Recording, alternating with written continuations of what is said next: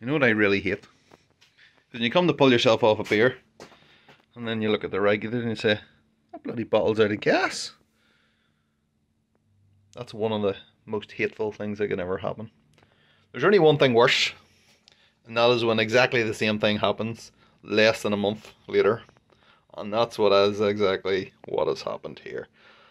I have managed to get rid of this entire bottle gas in, I don't know, three, just over three weeks. Unbelievable. So, I'm going to do something about it today. This is my setup then, so just basically going into there, into the side, and then into that manifold. And I believe that this is where all the problems have. You can see that I keep having to wrap plumber's tape around it.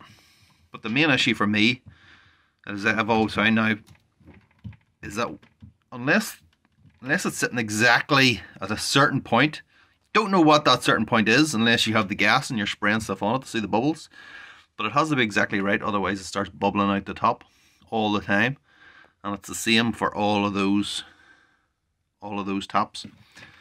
And you could wrap tape around it, it'll fix it for a little while, but it'll go back to normal. Now there might be something to be said for the barbs as well. We're losing something there. There's barbs there. There's a barb there. So I've just got, I've got fed up with it. Um, the last bottle broke me, and I decided I wanted to do something about it. Now, the bloody next bottle has gone. So let me show you what I'm gonna do. Okay, forgive the angle. It's it's all I can do. I can't find the best position for the camera. So try to ignore the fact that this is upside down. Okay, this is what we've got from Kegland. Probably should have opened this before I started taking video, but sure. So these are inline regulators. Come in a nice little triangular package. Okay, let's have a look. So I got these from the Kegland store on AliExpress. I got wired off to them by Eric from Crowsfoot Brewery. Cheers, Eric. Um, he has exactly the same ones. I couldn't believe the price of them. So these cost £6.80 each. And with shipping, that was, I got four of them for £34. Now you can buy a secondary regulator, inline regulator, for about £34. I think the cheapest I saw from UK companies was something like 25 or 26, something like that. So there's a hell of a difference. It did take three weeks to get here, to be fair, but it is the week before Christmas. So I don't mind. Okay, so this is what we're looking at. Let's get it out of the bag.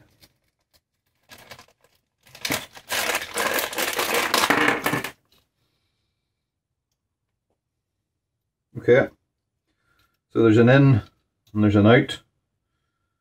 So, not sure what this is. This is maybe the the blow off at the front, is it? Yeah, that'll screw in there. It'll just relieve the pressure. Presumably that just fits in like that. No instructions, like, I mean, who needs instructions? There's like literally three parts to it. Come on. Oh yeah, so you can change the pressure then obviously using the top. And then if you do it the other way, you can relieve the pressure. Okay, seems pretty simple. Now the only thing is that these are 5 sixteenths. 5 sixteenths in proper money is 8 mils its outer diameter. So warning, this is a secondary regulator. This regulator will still require a primary regulator to drop your cylinder pressure down to 150 psi or less. Which is what we've got.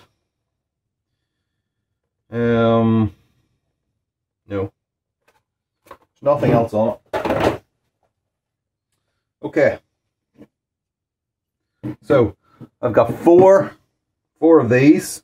Don't they didn't provide any screws. I'm sure I can find screws from somewhere in here. I've got any amount of stuff. So I've got four kegs. Each is going to have its own pressure regulator now. The way it's set up now is you've just seen in the manifold. I have three on the top and I have the fourth one. The fourth one is a spare one. So if I, I have the fourth keg, which I don't have in, I've actually got it sitting on the side. Usually the fourth keg that I have is something that I'm conditioning or aging or something like that. So it's not on top all the time. What it is, it's available for top, but I don't have it um, hooked up to the gas. So I have the option of either putting them kind of like that across, maybe on that back wall, or putting them kind of vertically, like that. Um, I have plenty of space around here on the walls. We're doing whatever the hell we want. So that's not going to be a problem. So say just for handiness sake, like we'll have more room doing it like this. So let's say we have it like this. Doesn't really matter what way it is. So we've got the the normal regulator. The normal regulator goes into three eighth tubing, which is this. That'll have to go onto a reducer to get it onto the 5 16ths because that's what fits these. So there'll be one reducer there. So going in 3 eighths and coming out 5 16ths. Then we've got these little T connectors. So that will be, so imagine the pipe going across here.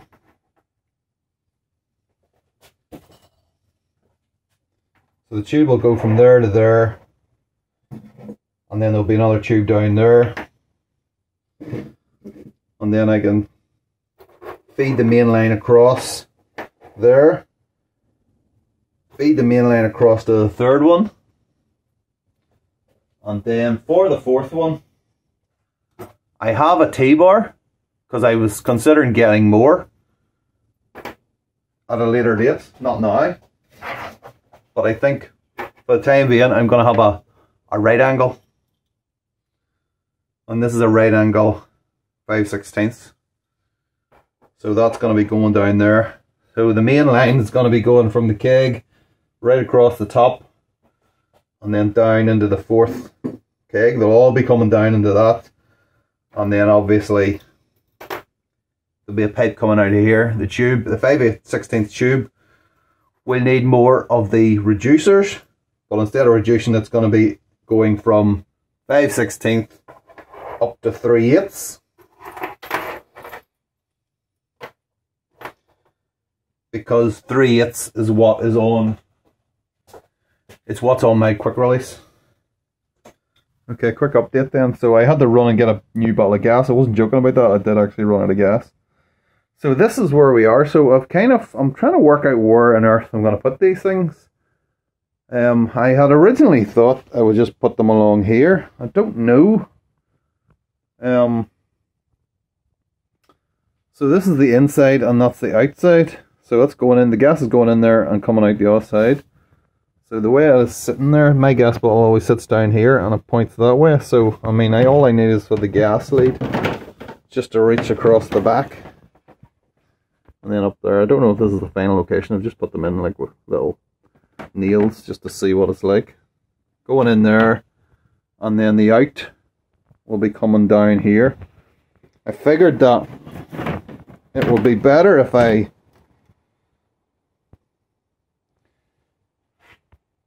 rather than coming in, I, I'm thinking there, but I'm thinking if it's coming in there, that's too close. You don't want bent, that kind of um, hard tubing.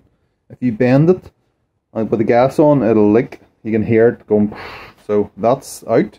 So it kind of needs to come in from that side, the way the other one was, and then going across. So I think I can feed it, say, around the back of that. I mean, I don't really see that anyway, that bit, because it's covered, and then that can go round, and then probably in the side or in round the back. Maybe they're coming in drill a few holes coming through and that might work okay one little bit of a problem there you can see it bubbling away That's a weird looking right angle. What is this kind of thing for? I don't know. I might have to take it apart and see why. I don't know why this bit's. You can screw it off. It's weird. But um, yeah. Well, worst case is you maybe order another part and just connect that to that, and that'll be it sorted. So it's not a big deal. Okay, I've just um made them a bit more compact, squeezed them down a little bit. Um, I'm still not overly keen about the the lines going out on that side, but I, I don't really have an option because I can't put it down the ways because I can't get it in the back because obviously there's not enough a lot of space there. So um, it'll just have to do like that. You can actually take the front off, screw that off, and change turn the gauge around whatever way you want. But I think for me that's gonna have to be like that. And you can see there I've just literally connected that to that. That will do rightly. Um, so I've turned the gas on. Okay, we'll maybe crank the crank it up a bit. Something about 10 psi there. It's not very good. And let's see what happens. Something's bound to go wrong here. Like, I mean, this is me we're talking about. And here the gas. So yeah, set it about 20 20 psi. That's enough for get it nice and fuzzy for the Czech pils there. So that's number two. So set up to go one, two, three, four. So if we crank up number two, everything's connected inside, isn't it? Uh, one, two, yeah, rings on. So it should be it should be as simple as just turning this handle on, this will go up. You can see the PSI goes up to 60. I think you can get these and they go up to like 25 or something like that. Checked all the fittings, they seem to be okay. One.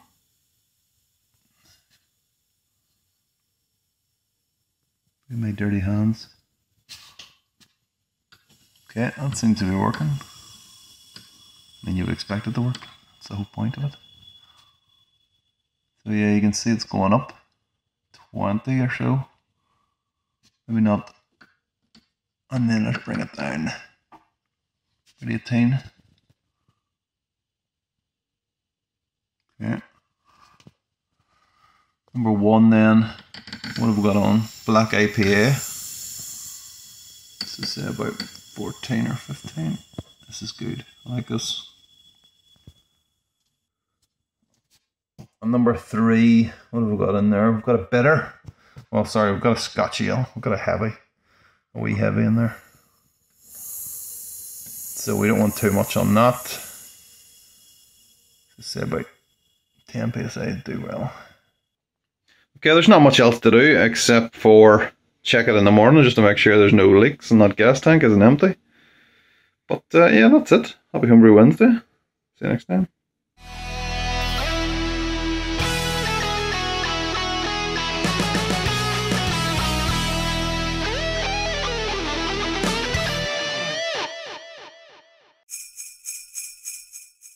I mean, even though the gas is on, so I do have a fourth keg down here somewhere. It's one of these two.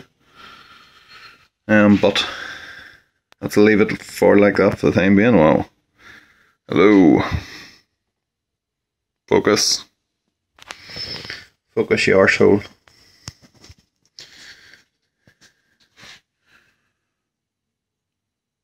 It's completely low. Look at the state of this. Jesus Christ. You want to stop